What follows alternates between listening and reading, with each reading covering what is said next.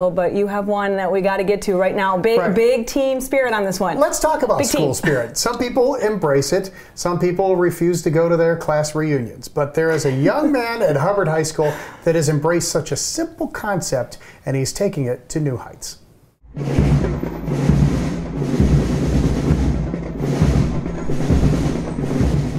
If you're from Hubbard, or maybe even your school is in the Northeast 8 Conference, chances are you've seen the Hubbard Eagle.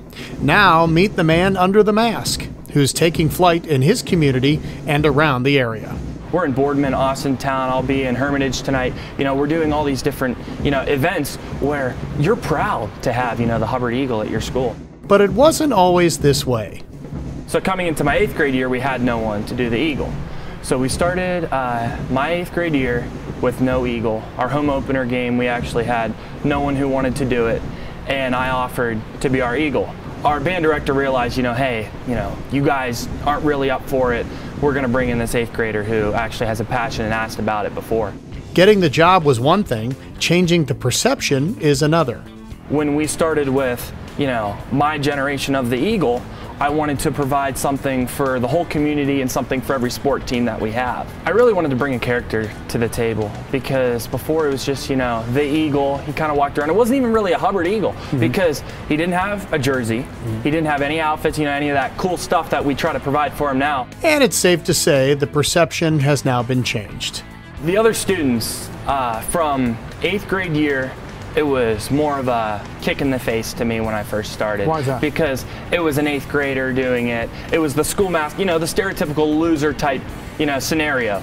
And then my eighth grade year, you know, we started, we cleaned him up. We got him a jersey. We got him ready. He started going to these events, and now this year I have, you know, a student section backing me up. Isaac worked with his athletic director to create a whole new costume for the Eagle, and when he changes into that, Isaac changes too. I truly believe that when that head is on, I'm a completely different person. You do not see the Hubbard Eagle walking around the school when I don't have it on. I actually there's some dance moves where I can't even get myself to do when I don't have it on. Oh, there are plenty of dance moves, all right. The eagle does the worm.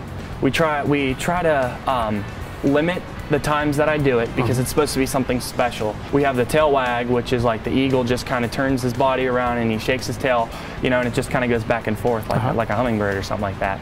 And then you know he has you know the occasional uh, belly shake. He shakes his belly up and down, and you know that gets everyone laughing. He even took a little time out of his busy routine to teach me a dance called the floss. There's something about this soccer player, band member, and drama club star that makes you want to join in. Oh, Eagle, you're the best. The crowd is laughing, and now Isaac gets the last laugh. The Eagle gets to fly to Disney in May and be one of only four in the country at a national mascot competition. Oh my gosh, I'm thrilled. Like, I can't even believe this is actually happening. Like, last year, I wouldn't have even thought that this was possible. I didn't even think I'd be able to run out with the football team this year. Like, that's so just taking those big steps to first not even having like a jersey for the Eagle to wear, getting kicked down on bleachers, stuff like that, to now the city embracing me, and now possibly getting an award to be top mascot in the country. It's just outstanding. I actually had a kid who went up in another uh, basketball player's face because, you know, you looked at our eagle the wrong way. So, like, now we actually have support behind it because it's a pride in the school.